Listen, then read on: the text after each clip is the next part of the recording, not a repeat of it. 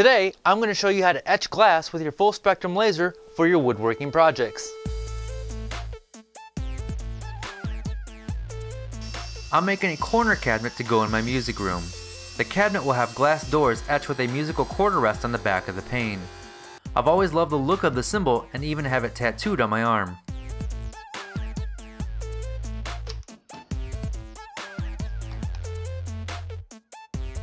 The cabinet is made up of Baltic birch plywood with walnut accents.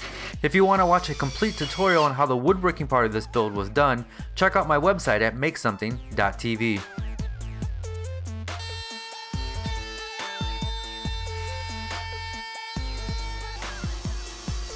The doors are made from tongue and groove joinery and will have a rabbet routed in the back to hold the glass panes. The glass is simply held in the doors with window screen clips.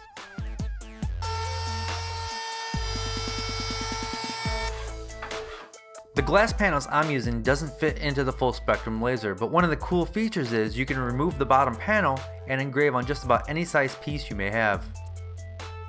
I'm using masking tape on the glass to help me line up and register where I want my artwork to go.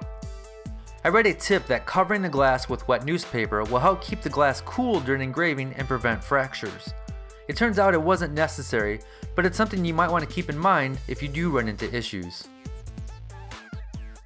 Something else to consider is cutting out a stencil on contact paper and using that stencil with glass etching cream for more of a traditional way to etch glass. I'm using the Retina Engrave software that comes with the full spectrum laser and ended up doing two passes at 100% power and 50% speed and was very pleased with the final result.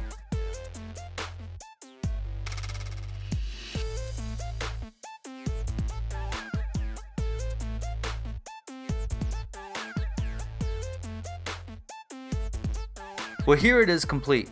Behind the glass I have countertop laminate used as backing. The dark back highlights the etching, I've made the back panels removable which allows me a few options. I could use a laminate, a birch background, or no background at all to show the contents of the cabinet. Well thank you for watching. You'll find links to the full spectrum laser as well as the woodworking part of this build down below. And if you want to learn more about me, check out my website at makesomething.tv. As always, be safe, stay passionate, and make something.